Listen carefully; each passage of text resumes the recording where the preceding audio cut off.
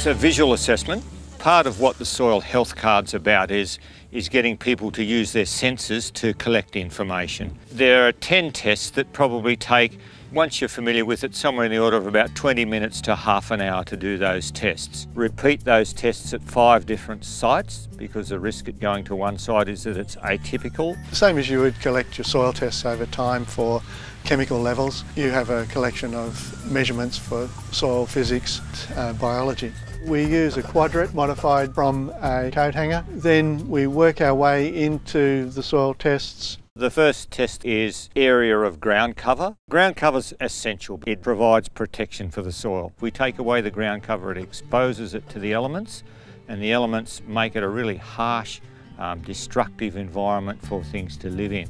And so ground cover's essential to protect that soil environment because what the plants do is that they transfer the energy from the sun to the organisms in the soil and that energy is needed to drive that soil system and make it work.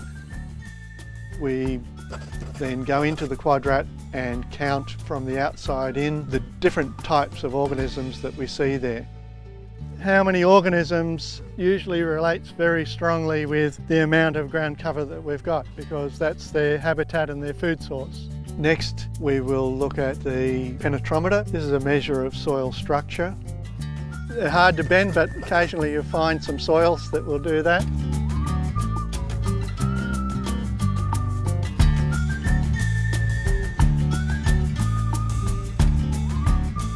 The next test is a water infiltration rate test, so again relates to soil structure.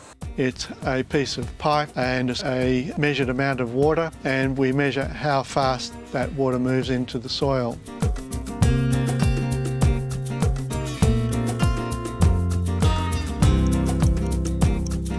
It's an indication for how much space there is in the soil for rainfall to fill up before the soil does start to get flooded. And we're done.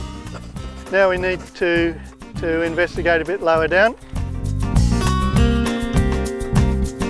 Look at how deep the roots go. They'll be delivering energy to that depth, whatever depth they go. That means that there's energy for microbes, which are going to improve that soil structure. We then do the surface soil tests of the penetrometer and the infiltrometer at 20 centimetres. It can indicate changes in soil structure down the profile. If we can improve depth of that soil structure, we improve water holding capacity and also improve the capacity to cope with long periods of heavy rain, which is significant for a lot of our tree crops improving soil structure and maintaining ground cover are really important about minimising erosion and soil degradation. With our structural test we took a lump, see how it breaks up very easily and readily into a mixture of smaller and larger crumb sizes. We also take soil peds and put them in water and agitate the water to determine the stability of the peds because what we want are stable peds that don't fall apart when they get wet. If the soil gets very wet from rain or irrigation and they break up, the structure's dissipating easily. So we'll see what happens. We'll drop it in and we're going to wait for 60 seconds. So the swirling broke it up into some finer aggregates, but the water is still clear. The beauty about soil structure is that it's something that we can fix, rehabilitate. The more earthworms you have, the healthier the soil. They're such a good indicator for soil health. So we can look into that excavated soil, looking particularly for earthworms.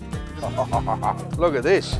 I got, that's four. That's three and a baby. Stand back, Geoff's getting excited. Yeah. I am excited pH is a measure of the acidity or alkalinity in the soil.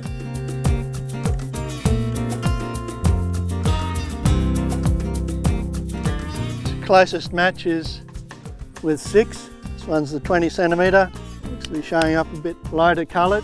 Those root systems moving down there can also help deliver minerals down there which will be changing that soil pH and organic matter down there which buffers soil pH.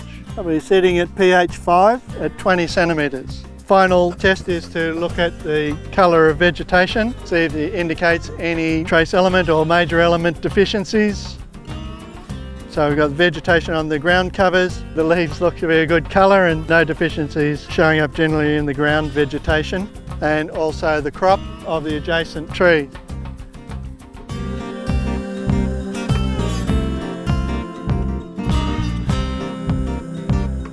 Doing that in five sites, so if we see any major variations uh, on the five sites, the average of those sites giving us our final score.